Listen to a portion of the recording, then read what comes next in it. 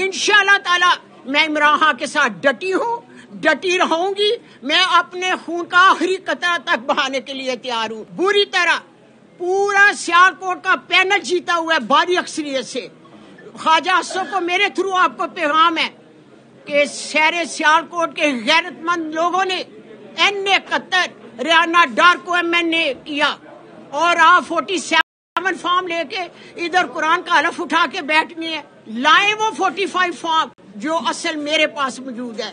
मैं हाजा असफ को पैगाम देना चाहती हूँ। लाए आप भी अपने फोर्टी फाइव फॉर्म सारी दुनिया जानती है असली और नकली फ़ोटो फाइव फॉर्म में फ़र्क तो होगा। ताला मैं इमरान के साथ डटी हूँ।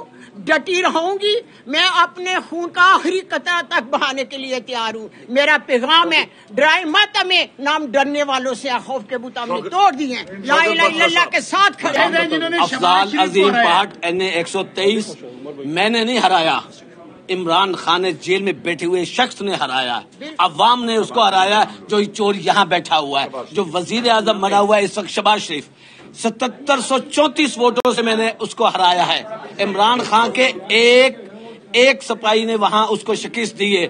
मेरी पटिशन जो सी है अपील सुप्रीम कोर्ट में पेंडिंग है। मैं यहाँ कहता हूँ शबाज शरीफ असेंबली में आके कह दे हल्फ दे दे ऑन ओथ कि उसके पास 47 असली हैं। 47 का वो सिलेक्ट हुआ है। मैं रिजाइन कर दूँगा, मैं पार्टी में कभी नहीं हुआ और वो इंशाल्लाह ताला हारा हुआ है, इसको यहाँ से खाली हाथ वापस भिजवाऊँगा। एन ए दो कराची के मोहम्मद इकबाल साहब को ये चैलेंज देता हूँ कि उसके खानदान के सिर्फ़ तीन अफराद, कुरान पे ये हल्फ उठा लें कि उसका वो फॉर्म सैंतालीस है, वो ओरिजिनल है।